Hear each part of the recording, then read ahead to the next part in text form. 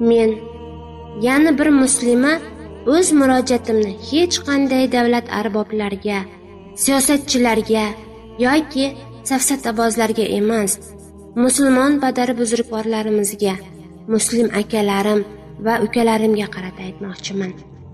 Aziz erkaklar sizlar uchun allohim olamni yaratib olamlariga xalifa etib insonni yaratdi.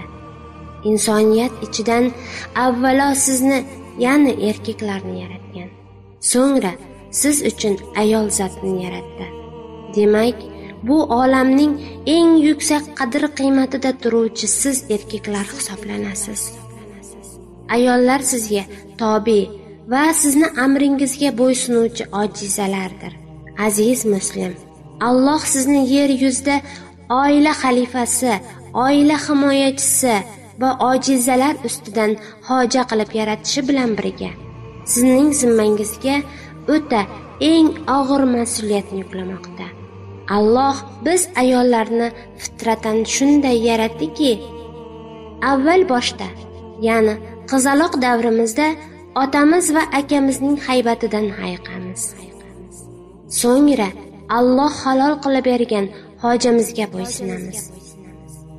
Hattoki hattoki qariyalik davrimizda o'g'il farzandlarimizning so'zlariga quloq tutamiz.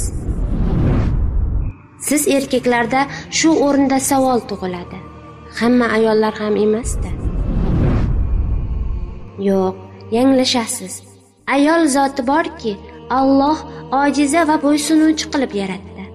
Faqat to'g'ri yo'lga sola olmaydigan erkaklar mavjud desangiz haqiqatga yaqinroq kelasiz. Faqat mendan ranjimang. So'zlarim qalbingizga og'ir botmasin. Ayrimlaringiz alloh qaytargan ishlarni qilasiz va yana ko'krak kerib men erkakman deysiz. Siz dunyoviy maishatlarga berilib to'rtta dunyoviy do'stingizning oldida o'zingizni ko'rsatmang. Agar agar siz haqiqiy erkak bo'lsangiz allohni qaytarganidan qaytib buyurgan amallarni qilgan bo'lar edingiz. Yoki siz shariat hukmiga bo'ysunmasdan ichkilik ichgan zinokor ona qalbini og'ritgan ayolga qo'l ko'targan erkaklarni erkak hisoblaysizmi? Shariatning qaysi arkonida erkak kishiga bular ruxsat qilib berilgan? Yana uyalmay erkakligingizni pesh qilasiz. Sizki oila xalifasi bo'la turib shariat qonunlariga rioya qilmas ekansiz bu oilaning oqibati nima bo'ladi? Ayolingiz shariat arkonidan so'z ochib gap boshlasa bo'yin tovlaysiz. Onayizoringiz nasihat qilsalar sizga yoqmaydi. Sababi sababi nafsingiz ko'nmaydi.